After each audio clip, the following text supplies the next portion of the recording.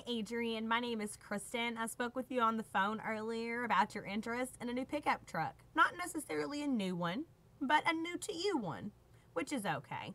I have your appointment scheduled for Saturday at 6 p.m. If something happens and you're not able to keep your appointment, please give me a call to reschedule. My number is 502 214 7085.